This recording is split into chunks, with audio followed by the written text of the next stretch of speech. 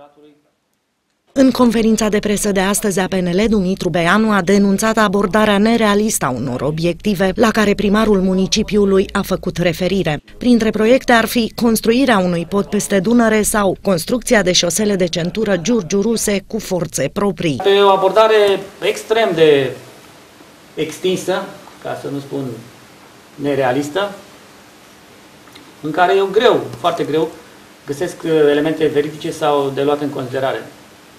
Giurgiu nu poate, indiferent ce și-ar propune și ar gândi domnia sa, să aibă ca obiectiv al unui proiect construirea unui pod peste Dunăre. Asta e pentru, nu știu, nici măcar pentru copii preșcolari. E pentru oameni care, pentru care uh, un nivel înalt de entuziasm reprezintă un drog. Poate genul ăsta de oameni să fie încântați de asemenea teme. Cum nu poate sub nicio formă să realizeze cu forțe proprii șosele de centură circulare pentru Giurgiu Ruse sau mai știu eu ce alte asemenea teme.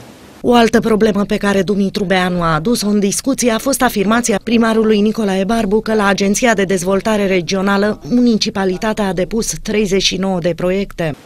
Giurgiu, cantitativ, nu are la această oră 39 de proiecte depuse la Călăraș, are, ca și Consiliul Județean, un număr de teme de proiect depuse acolo, condiții obligatorie prin care cei de la ADR vor să vadă orientările, preocupările și prioritățile pe care le stabilesc autoritățile locale.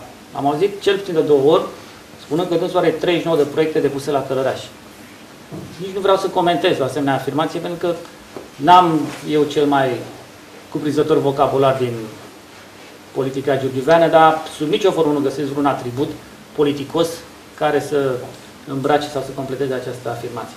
În încheiere, președintele organizației municipale APNL a conchis prin afirmația că abordarea primarului este mult prea expansibilă și necredibilă.